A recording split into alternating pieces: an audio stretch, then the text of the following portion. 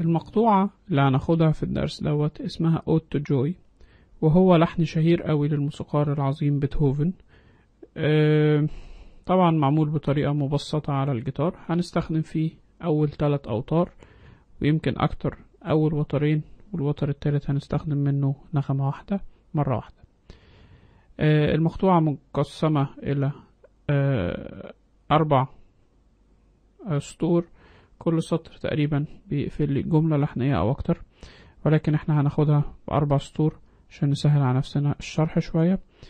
آه، السطر الأول آه، مطلوب مني إن أنا أعزف E E F G G F E D دي أول جملة لحنية. الجملة التانية C C D E E D D السطر كله ماشي نغماته. نوار زمن خبطة واحدة في كل ع... آه، نغمة في كل خبطة من خبطات المترونوم. ما عدا آخر نغمة في السطر هتبقى بلانش العلامة البيضاء اللي زمنها خبطتين.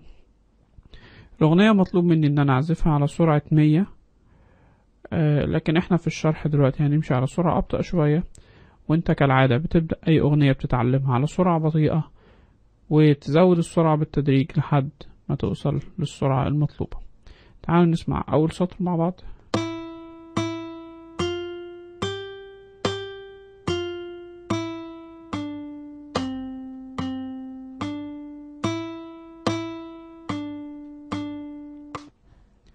ده السطر الأول اللي هو من مزورة واحد لأربعة السطر التاني من مزورة خمسة لتمانية آه قريب أوي للسطر الأول. يعني أول ثلاث موازير هما بالظبط تكرار والمزورة الرابعة بتتغير يعني المزورة رقم تمانية بتتغير عن المزورة الرابعة. آه تعالوا نسمعه مع بعض.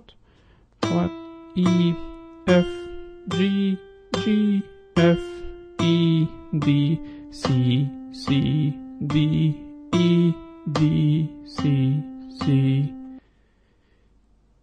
زي ما إحنا شايفين في تكرار ما بين أو تشابه شوية. ما بين السطرين الأول والتاني.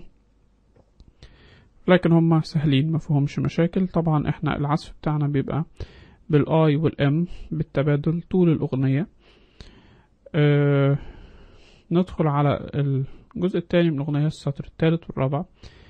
آه السطر التالت آه هيبقى فيه عندنا نغمة الكروش اللي هي نص خبطة. في كروش وكروش ورا بعض زي ما قلنا تطي وتطي في المزورة عشرة وحداشر. آه نبدأه من أول السطر التالت مزورة التاسعة. D D E C وبعدين مزورة العشرة D E F E C يعني لو إحنا عايزين نعد الإيقاع هنقول تا تا تي تا تا. تا تا تي تا تا.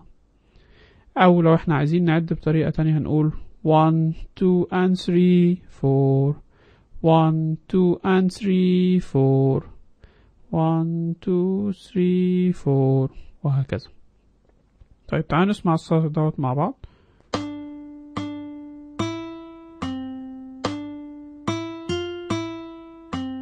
one two and three four one two three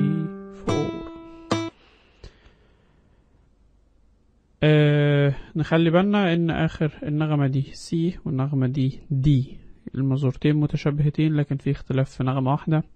وبعدين آه بتخلص الجملة هنا في C D G وبعدين ال E دي زي ما نقول نغمة بتربط ما بين السطر التالت والرابع. آه لو نلاحظ إن السطر الرابع هو تكرار بالظبط للسطر التاني من غير أي تغيير هنلاقي مزورة من أول خمسة لحد تمانية هو هو بالظبط من تلاتاشر لستاشر آه الأغنية ليها backing track أو آه عزف مصاحب ليها وهو اللي إحنا هنسمعه مع الجزء العملي. ال track دوت ممكن تعمل له download تحميل من الموقع بتاعنا عشان تبدأ تلعب مع الأغنية.